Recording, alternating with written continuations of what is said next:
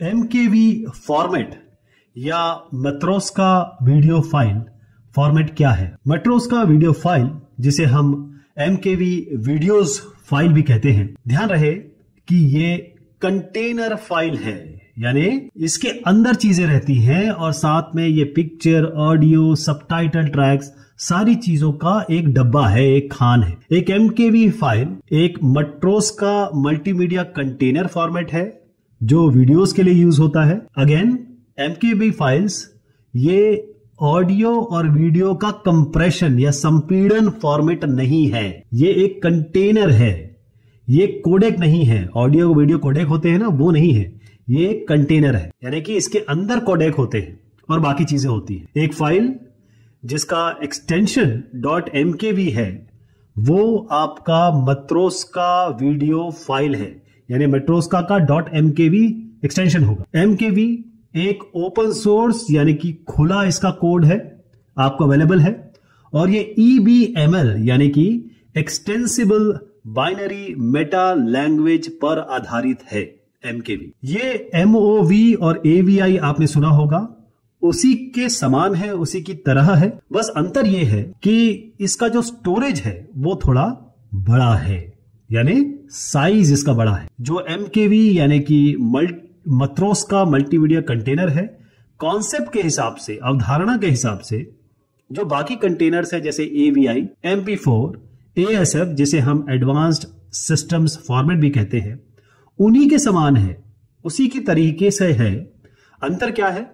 अंतर यह है कि पहली चीज़ ये ओपन स्टैंडर्ड है, यानी खुला हुआ स्रोत है इसका, और इसको जो इंप्लीमेंट किया गया है वहाँ पर भी आप ज़्यादातर ओपन सोर्स सॉफ्टवेयर देखेंगे। मत्रोस का फ़ाइल एक्सटेंशन ये डॉट एम है अगर आप वीडियो का इस्तेमाल कर रहे हैं, जिसमें सबटाइटल्स भी हो सकते हैं और साथ में ऑडियो भी होगा, यानी कि पूरा आपको कंटेंट मिलेगा। वी उसके बाद dot M K three D है।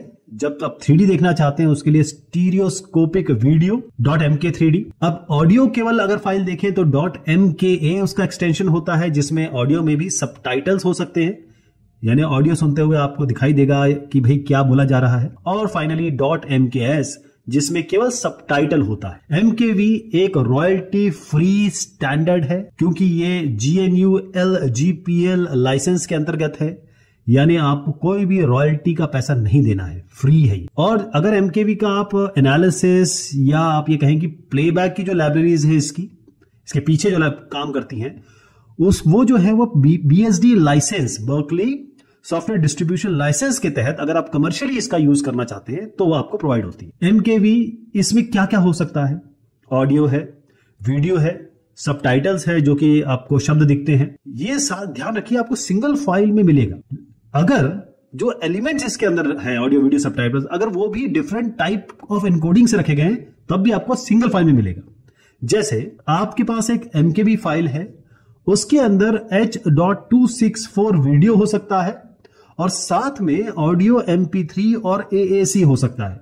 यानी कि कई तरह के परम्यूटेशन कॉम्बिनेशन बन सकते हैं ऑडियो वीडियो कोडेक के। एम के वी डिस्क्रिप्शन यानी data about data meta data जिसे कहते हैं, क्या रेटिंग है उस सॉन्ग की या वीडियो की कवर आर्ट यानी उसका जो फ़ोटो है।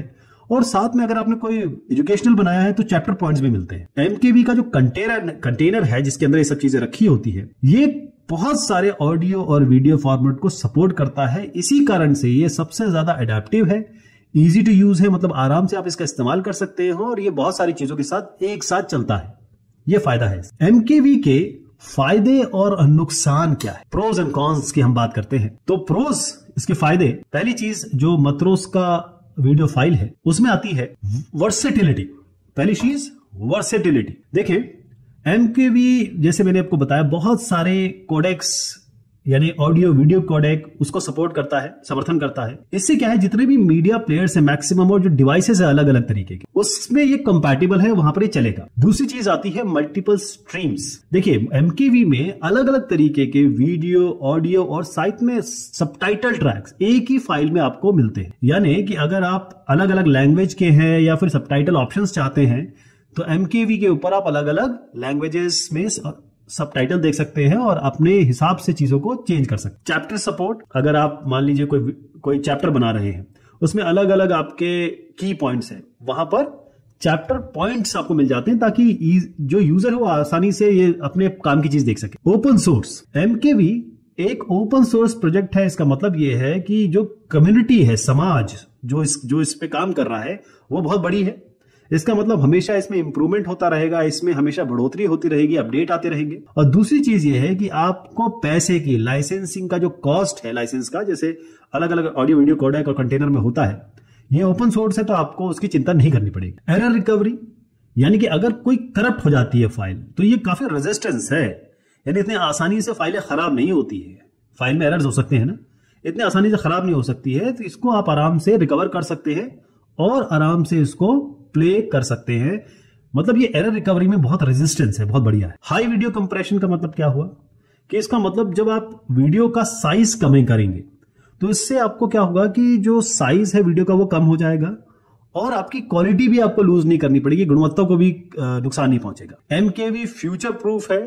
यानी ये इस तरीके से बनाया गया है, इस तरीके से डिज़ाइन किया गया है कि आगे के समय आप यही फ़ाइल जो आज बना रहे हैं वो यूज़ करेंगे तो आउटडेटेड नहीं होगी। वो खराब नहीं होंगी, आप उसको आगे भी उसी तरीके से इस्तेमाल कर पाएँगे। अब डिसएडवांटेजेस क्या है एमकेवी के? पहली चीज़ जो आती है, वो है कंपैटिबिलिटी देखिए वर्सटाइल है ये, बहुत ज़्यादा यूज़ होता है, लेकिन हर जगह यूनिवर्सली एक्सेप्टेड अभी नहीं है। इसका मतलब अगर कई ऐसे आपके प्लेटफॉर्म्स है जहाँ पर आपको अलग से सॉफ्टवेयर की ज़रूरत पड़ेगी, हो सकता है एमकेवी को आपको कन्वर्ट करना पड़े कई बार ये रीड ना हो। दूसरी समस्या इसमें यह है फ़ाइल साइज़ देखिए, अगर आपको अच्छी क्वालिटी का वीडियो देखना है या ऑडियो सुनना है तो एमकेवी फ़ाइल का साइज़ होता है बड़ा। जैसे, अगर आप फोर या एवीआई से कंपेयर करें तो इसका साइज़ बड़ा होगा। एमपी फोर एवीआई क्योंकि इसके कॉम्पिटिटर्स कह सकते हो आप।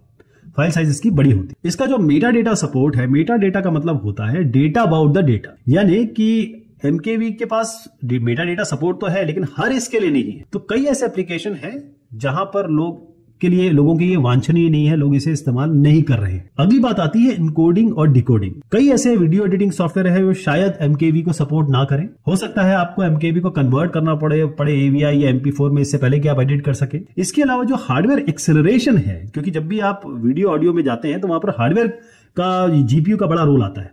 तो इसीलिए यहाँ पर थोड़ी सी कमी इसमें लगती है।